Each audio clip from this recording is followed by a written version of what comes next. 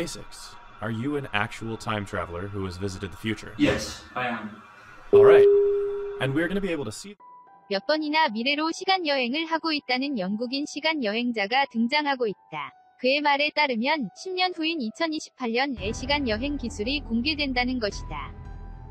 서기 3000년 위 세계는 지상에 아무도 없는 디스토피아. 수많은 시간 여행자가 등장한 유튜브 채널 아펙스트브의 한 영상에서 영국 정부의 극비 프로젝트에서 몇 번이나 미래로 시간 여행을 했다는 시간. 여행자 윌리엄 테일러 씨가 출연하고 있다. 드물게도 테일러 씨의 얼굴은 모자이크가 걸려있지 않다. 테일러 씨의 손가락에는 거짓말 탐지기가 장착되어 카메라를 향해 수많은 질문에 대답하고 있다.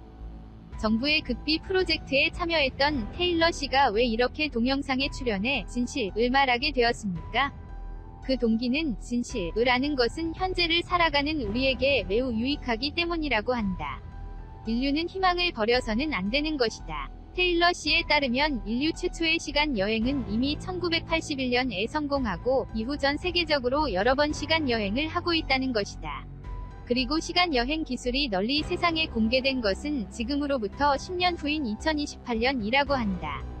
몇 번이나 시간 여행을 하고 있는 테일러 씨는 서기 3000년과 서기 8973년을 방문했을 때의 모습을 중심으로 말하고 있다. 우선 서기 3000년 위 세계는 어떤 곳이었는가? 하늘이 붉고 대기 오염이 심해 지상에 누구 하나도 없었습니다.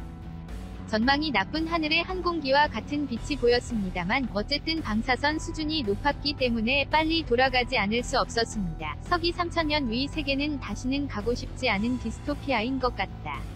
환경오염이 심해 지상에서 생활하지 못하고 사람들은 지하시설이나 해저시설에 거주하고 있는 것일까?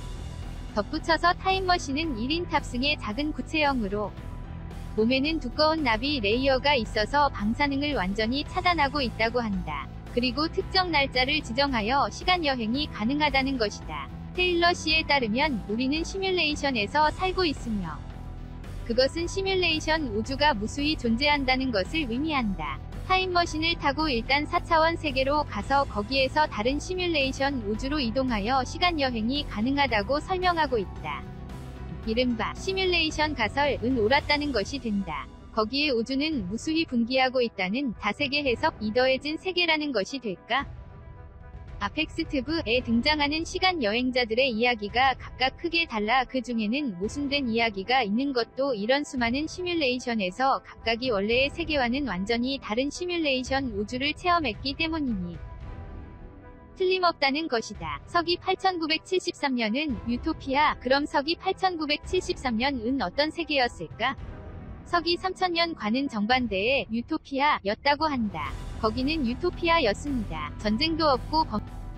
모든 질병은 근절되고 있었습니다. 테일러 씨는 거기에서 미래인을 만나 이야기를 나눴다는 것이지만 미래인의 모습은 우리로 보면 로봇이었던 것 같다.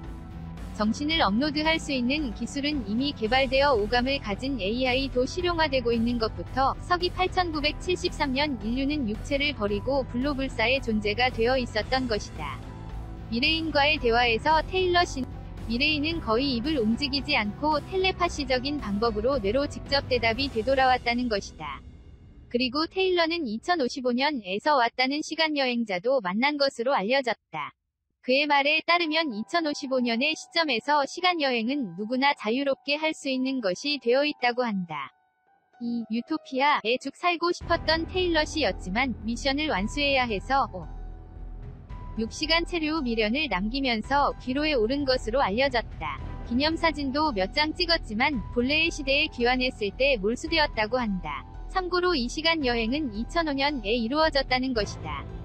테일러 씨, 미래는 흥미로운 테일러 씨에 의하면 우리의 먼 앞으로의 미래는 장밋빛이라는 것이 되지만 서기 3000년 위 세계의 황폐화는 신경이 쓰이는 곳이다. 빨리 돌아온 테일러 씨에게도 자세한 내용은 모르는 것이다. 시간 여행에 따라다니는 문제인 타임 패러독스와 과거의 역사를 모르는 중에 변화시키는 것처럼 보이는 만델라 효과에 대한 질문에 다다르면 테일러 씨는 둘 다 있는 것이라고 답하고 있다. 개인이 일으키는 작은 것으로는 그다지 역사가 바뀌는 것은 없지만 어느 국가나 조직이 어떤 목적으로 의도적으로 역사를 바꾸도록 과거의 사건을 조작하는 것은 여러 번 행해져 왔다고 한다. 그러나 적어도 서기 8973년 의 세계에서는 이 시간 역설의 문제가 기술적으로 거의 해결되어 있다는 것이다. 테일러 씨는 마지막으로 미래는 흥미롭다. 고 우리에게 메시지를 남기고 있다. 다양한 위기에 노출되어 있는 오늘날의 세계이지만 우리가 아낌없이 노력을 계속하는 장밋빛 미래가 기다리고 있다는 것이다. 타임머신 외에도 인류 사회를 크게 바꾸는 기술인 정신 업로드 기술과 감각을 가진 AI의 개발은 2050년까지 달성한다고 테일러 씨는 예언하고 있다. 시청해주셔서 고맙습니다. 좋아요를 눌러주세요. 반드시 채널을 등록하시고 알림을 켜주세요.